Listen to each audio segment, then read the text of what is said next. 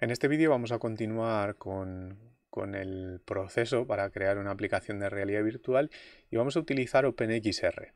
Hasta ahora eh, la forma de, desarrollar aplicaciones de realidad virtual era utilizando las librerías propias de, cada uno de los fabricantes. Pero por suerte, bueno, pues se ha desarrollado y ya está en un estado de madurez lo suficientemente interesante como para utilizarlo una especie de capa de abstracción intermedia. La idea es, sencilla, es esa capa de abstracción nos da, digamos, las funcionalidades que necesitamos básicas de acceso a, mandos y luego lo que hace cada fabricante es desarrollar una, un SDK, un entorno que lo que hace es eh, vincular el, hardware, su hardware específico, con esa, capa de, abstracción. Entonces vamos a ver cómo, desarrollar aplicaciones con ese sistema el primer paso eh, va a ser instalar los paquetes necesarios. Vamos a utilizar varios paquetes. ¿vale? Vamos a ir al Package Manager eh, y vamos a buscar, en este caso, eh, OpenXR. ¿vale? El plugin de OpenXR. Y le vamos a dar a instalar. El plugin de OpenXR, bueno, también nos instalará el, plugin de eh, XR Management, o sea, XR Plugin Management, que, lo vamos a necesitar, ¿vale? Y también eh, nos ha instalado otro paquete importante, ¿vale? De hecho, eh, lo vemos aquí en las dependencias, no sé si se ve muy bien, eh, XR Plugin Management y nos ha instalado otro que es el Input System, ¿vale? Otro de los cambios que, ha habido en, Unity y que a futuro es, bueno, pues conviene aprender a, gestionar es eh, la forma en la que se, en la que se gestionan las entradas, ¿eh? ese input system, ¿vale? Ese input system que ahora vamos a utilizar uno diferente al, al, habitual de Unity, al que viene por defecto en Unity, aunque seguramente pronto este será el, sistema por defecto. Bueno, pues lo que requiere es, como vemos aquí, eh, requiere reiniciar el editor. Así que le decís que sí y adelante y esperáis un ratito. Bien, una vez instalado el, o reiniciado el, editor, vamos a instalar también otro paquete que es el XR Interaction Toolkit. ¿De acuerdo? El nuevo input system de, Unity es bastante interesante y permite hacer muchas cosas, eh, digamos, sin tener que ir al código, ¿no? a, diferencia de lo, que, ocurría antes. Sin embargo, montarlo, sobre todo para realidad virtual, configurar todo es bastante, bastante costoso. Y este Interaction Toolkit eh, pues nos va a facilitar bastante, bastante la vida. Así lo instalamos y sobre todo nos va a facilitar mucho la vida algo que veremos aquí en, samples. Eh, sí, le decimos que sí, que no hay ningún problema, que tire para adelante. ¿Vale? En samples tenemos un starter assets, ¿vale? Así que eh, vamos a, a, importarlo. Muy bien. Ya que nos va a facilitar bastante, bastante la vida. ¿Vale? Ok. Y en principio, eh, esos serían todos los, bueno, pues todos los eh, elementos que, necesitamos, ¿vale? Existe la posibilidad de que, de que no tengáis, dependiendo de la versión, no, encontréis aquí el, el XR eh, Interaction Toolkit, ¿vale? Este paquete. Si no lo encontráis, bueno, pues tendréis que instalarlo utilizando el nombre, ¿vale? Package Name, que es como se hacía antes, eh, podéis buscar eh, las instrucciones en, internet. ¿De acuerdo? Ok. Bien. Bueno, pues una vez que tenemos esto, vamos a ver cómo convertimos nuestra aplicación a realidad virtual. ¿Vale? Bueno, aprovechando ya el, paso, eh, vamos a, recordar algunos aspectos, ¿vale? Si vamos a desarrollar las aplicaciones para para que funcionen en, eh, bueno, eh, gafas de realidad virtual independientes que funcionan con Android. Bueno, pues tendremos que ir a, Build Settings, añadir la escena a, las escenas que, vamos a construir y cambiar de plataforma a Android. ¿De acuerdo? Esto también nos va a llevar un ratito. Dependiendo de cuántas texturas tengáis en vuestra escena, etcétera, etcétera, pues bueno, le llevará más o, menos tiempo. Eh, aprovechando también, vamos a... Vaya, espera. Vamos a ir a, Player Settings, ¿de acuerdo? Podéis clicar aquí, pero bueno, como lo tengo ahí abierto, eh, ¿vale? Podéis ir a la parte de Player y vamos a, ir haciendo algunos cambios por, recordar un poco cómo iba esto. Podéis cambiar el nombre de la compañía, el producto, versión, etcétera, pero sobre todo algunos cambios importantes. Primero, el color space tiene que ser lineal para este tipo de aplicaciones. Por suerte, como, como el, el, pipeline de renderizado URP también utiliza este sistema lineal, pues no tenemos mayor problema. Luego tenemos un Autographics API que mejor por el momento al menos vamos a desactivar y vamos a quitar Vulkan, ¿vale? Y solamente vamos a dejar OpenGLS 3. ¿Vale? Porque, bueno, pues eh, de lo normal esto, o sea, si no, bueno, por ahora todavía nos puede dar, dar problemas, ¿vale? Em, vale. Aquí tenemos también, ya vemos, bueno, pues algunas configuraciones respecto a, los formatos de compresión, etcétera. Los, podemos dejar. Vulkan Settings, evidentemente, nos dan un poco, un poco igual. Aquí tenéis la opción de seleccionar Override Default Package Name para que cambiéis un poco, bueno, pues el nombre y demás, versión, etcétera. En cuanto al nivel mínimo, eh, al menos para las MetaQuest 2 y para las Pico también, eh, vamos a marcar un nivel mínimo de, 29, eh, ¿vale? De todos modos nos va, nos va a utilizar el, más alto instalado. Importante, en el scripting backend vamos a cambiar de mono a i2, o sea, IL to CPP, ¿vale? Esto nos marca aquí y además de hecho ya nos está avisando Target Architectures, vamos a quitar ARM versión 7, vamos a poner ARM 64. Y en principio, bueno, pues eso es todo. Luego hay, hay también más cositas por aquí, también de temas de calidad, de, bueno, una serie de, cuestiones también que en un momento dado, en todo ese proceso de optimizar la compilación en este caso, pues nos puede venir bien, ¿vale? Con esto ya tendríamos un poco configurado lo que sería la, compilación para que ese APK que genere pues, funcione adecuadamente en, las gafas. ¿Vale? Siguiente paso, vamos a venir aquí a OpenXR eh, Plugin Management y vamos a seleccionar OpenXR. ¿Vale? Vemos que nos pone un avisito. ¿Vale? Tenemos aquí at least one interaction profile must be added, bla bla. ¿Vale? Ahora, ahora arreglamos eso. Si venimos a OpenXR, vemos que nos aparece MetaQuest Support, ¿vale? Mock Runtime y Runtime Debugger. Aquí en principio podrían aparecernos otras plataformas. Por ejemplo, si queremos desarrollar, si queréis desarrollar la aplicación o queréis eh, que la, eh, compilar y la aplicación para que funcione en las gafas de Pico, pues tendréis que instalar el, eh, paquete o el módulo de, de Pico eh, que lo podéis descargar desde su web, hay que instalarlo manualmente, no está en, el, gestor de paquetes. Eh, el, módulo de OpenXR para Pico. Y entonces aquí os aparecerá Pico. Nosotros para este ejemplo vamos a utilizar MetaQuest, ¿vale? Eh, support. Seleccionamos MetaQuest y vemos que nos pone ahí un aviso en rojo, ¿vale? ¿Por qué es este aviso en rojo? Bueno, pues si clicáis en este caso nos dice Only Oculus Touch Interaction Profile is supported right now. ¿Vale?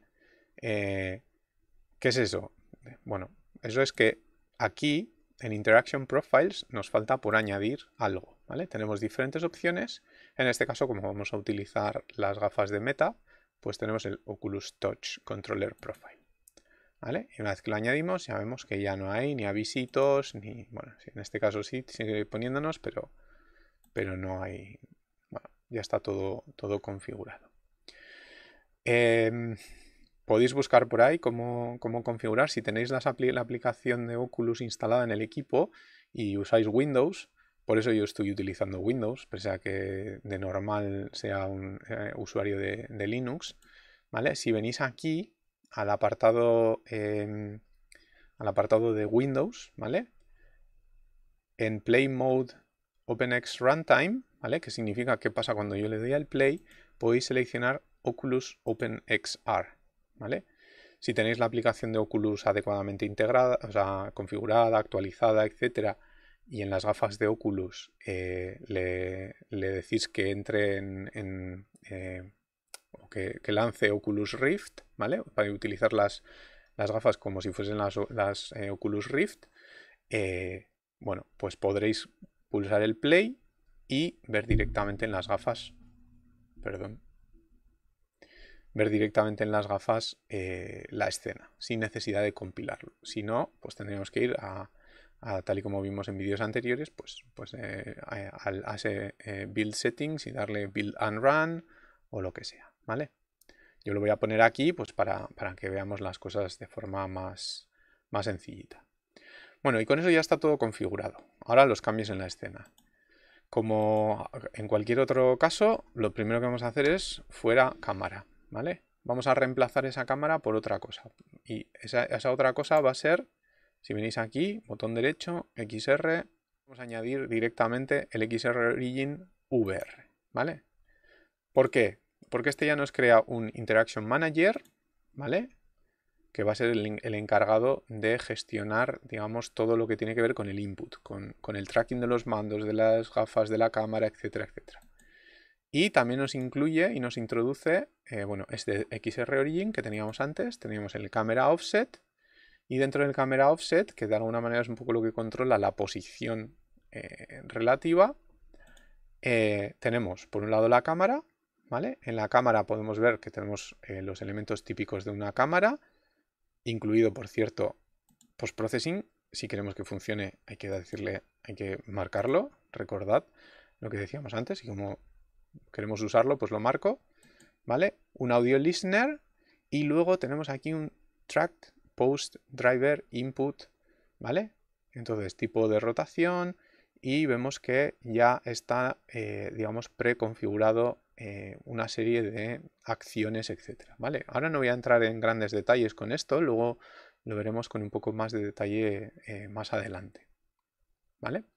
Tenemos por otro lado un left hand controller, ¿vale? Vemos que también aquí hay un montón de acciones, ¿vale? De posición, rotación, input, eh, haptic, UI press, activate action, bueno, en fin, un montón de cosas, modelos, X-ray interaction, en fin. Viene configurado con un montón de cositas que nos van a venir bien y por supuesto el right hand exactamente igual.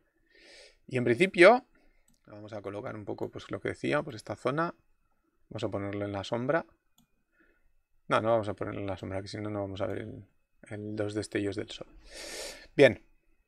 Bueno, como vemos, este XR Origin tiene, tiene su propio script y tiene una serie de, elementos, ¿vale? Cámara y offset, eh, que está definido, pero más que nada es porque no tenemos el Tracking Origin Mode, ¿vale? En general, eh, nuestro Tracking Origin Mode es floor, ¿vale? El suelo. Es decir, el sistema, tanto las Quest como las Pico, el sistema ya decide, eh, bueno, sabe dónde está el suelo porque se lo marcamos y, es capaz de determinar a qué altura se encuentran las gafas, ¿vale? El resto está ya configurado. Cámara offset, cámara floor offset object, ¿vale?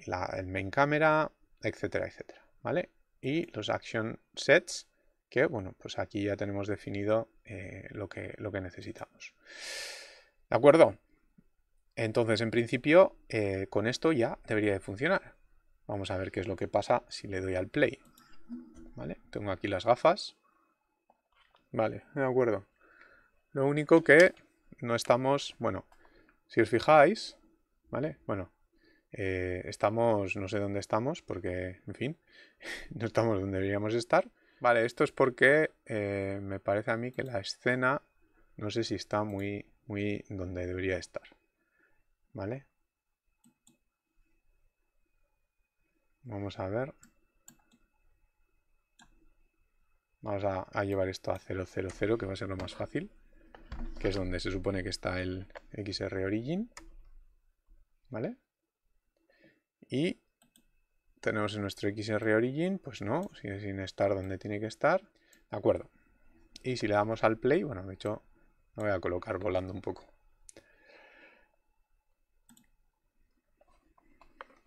Veremos a ver si... Vale, ahí tenemos nuestra escena. Podemos visualizarla perfectamente.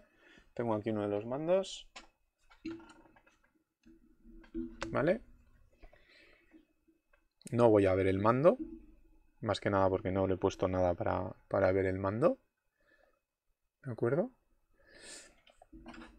Si nos fijamos, ¿de acuerdo? Eh, vamos a ver un poco cómo funciona esto. Tenemos aquí el camera offset, ¿vale? El, el, XR origin está donde está, donde le hemos dicho que tenía que estar en la escena. El camera offset no se mueve y lo que sí que se mueve es, según yo mueva las gafas, ¿vale? El main camera, ¿vale? Y si cojo el right hand controller y cojo esto de aquí, el mando, pues ya veis que no se mueve para nada. Esto es porque todavía no lo hemos configurado. ¿De acuerdo? Así que vamos a parar esto. De acuerdo. ¿Qué es lo que no hemos configurado? Pues todo esto de aquí. Todas estas acciones del tracking, de la rotación. Eh, ahora mismo cuando, cuando recibimos la rotación no estamos haciendo absolutamente nada.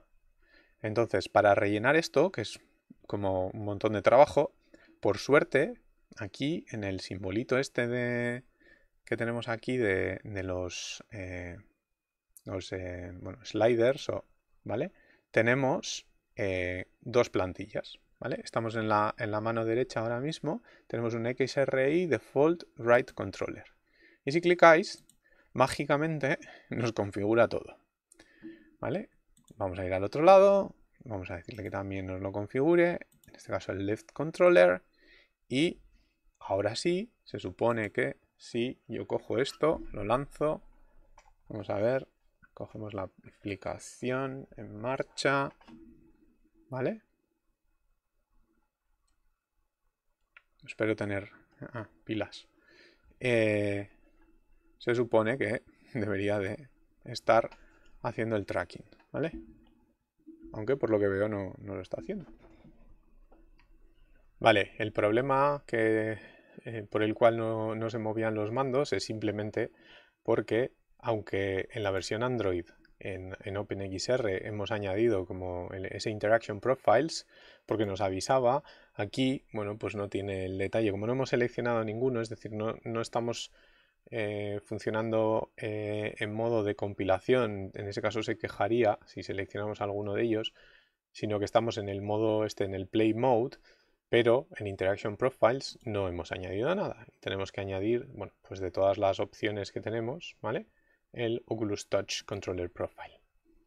Así que si hacemos eso, lanzo la aplicación, cogemos las gafas, ¿de acuerdo? Ahí vemos la, aplicación, fantástica, OpenXR, como decía, eh, main camera, vemos cómo se mueve, rota y si cogemos el mando, bueno, vemos un rayito y vemos que, efectivamente, eh, bueno, pues el mando se, mueve, ¿vale?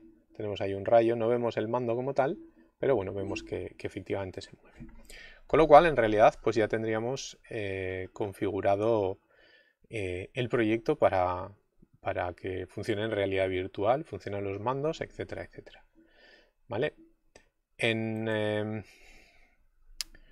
no vemos los mandos porque, bueno, tenemos, tenemos varias formas de hacer que se vean los mandos. Una es utilizando esto que está aquí abajo, que en cada uno de los mandos tenemos el model prefab, ¿vale? Y ahí podríamos añadir el, modelo o el, em, bueno, el mando, ¿de acuerdo? Y en algún sitio, si no me equivoco, teníamos un mando, no recuerdo exactamente dónde. Eh, a ver si, si lo podemos buscar. Controller. Mm, vale, aquí tenemos XR Left Controller. Tenemos ese y tenemos el... Vale, XR Left Controller, con lo cual podemos ir a aquí a, a donde teníamos, hemos cogido el left y en principio podríamos llevarle el left controller y en el right controller pues el controller right. Y con esto en teoría, si le damos al play, ahora sí que deberíamos de ver los mandos, ¿vale?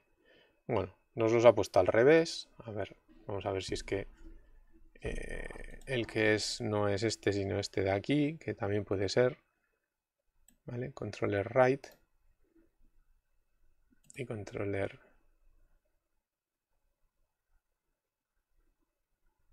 ¿Vale? El prefab yo creo que es este de aquí. Vamos a ver si ahora sí.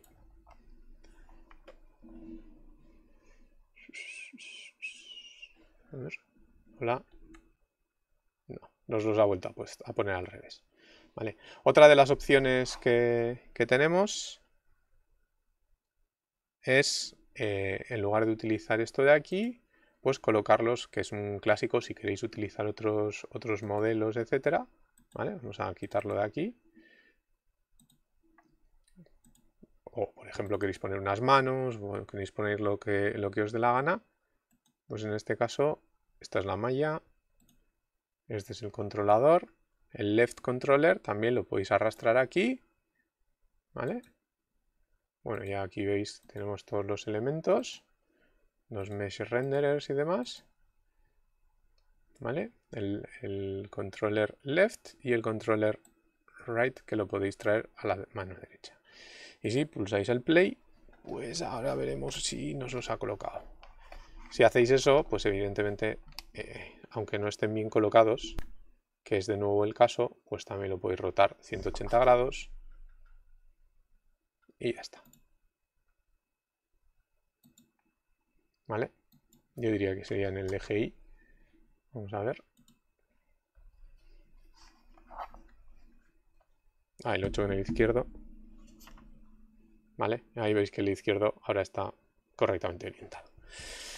Así que bueno, podemos solventar el problema de forma más sencilla. ¿De acuerdo?